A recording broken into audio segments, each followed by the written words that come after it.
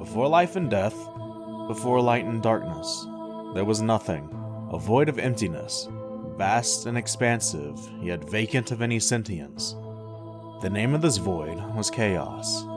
She is the oldest and most primal of gods to exist in Greek mythology.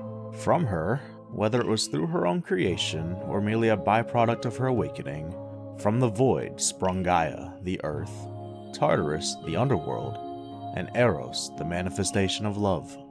As love had taken shape and been conceptually formed, this granted the two goddesses, Gaia and Chaos, the ability to reproduce, to create new life from beyond the once dark, empty void of nothingness.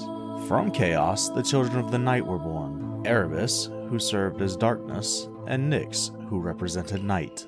After bedding his sister, the children of Erebus and Nyx had been created. Aether, the primordial embodiment of the upper skies, and Hemera, the personification of day. Eventually, all but her brother would grow frightened by the terrifying powers of Nyx. In response to these fears, Nyx created her own lineage of horrors. Unveiled from the goddess of night, she spawned Moros, a hateful spirit who represents both doom and destiny. The malevolent Keres, female death spirits which personified violent deaths and destruction.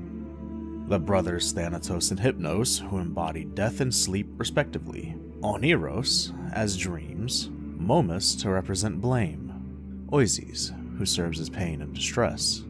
The nymphs of the west, otherwise known as the Hesperides, were the golden light that shone every evening at sunset. Apate, goddess of deceit, Philotes, goddess of sexual pleasure, friendship, and affection.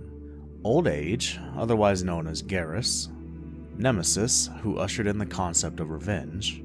The Moirai, three sisters known as the Fates, were the personifications of destiny.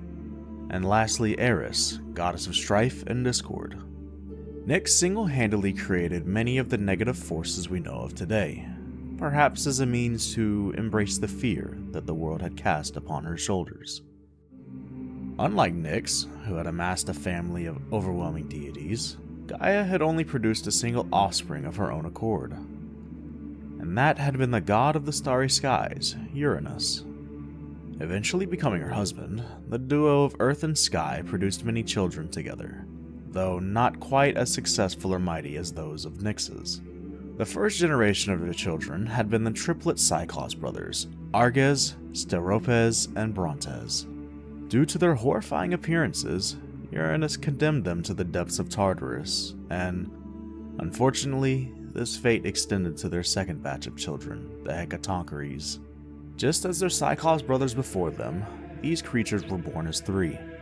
Named Briareus, Cottus, and Gaius, they were giant, mountainous beings who sported 50 heads and 100 hands each, thus giving them the moniker Hundred Handed Ones. Just as the deformities of the Cyclops plagued Uranus with disgust, so too had the Hecatoncheires. Growing ever so frustrated by these children, Uranus and Gaia had united once more in an attempt to create new life. Powerful life that would fill Uranus with pride. From this third attempt, they had been successful as the time of the Titans would soon come throughout the Greek world and usher in the Golden Age. Hey guys, I really hope you enjoyed this video, as I intend to make this an ongoing series for the channel one where I take popular mythology stories and summarize them into bite-sized videos. If you'd like to see more, then please be sure to subscribe, jingle bang that like button, and comment which story you'd like for me to cover next. This has been Steve Wukong, and I'll see you next time on our journey to success.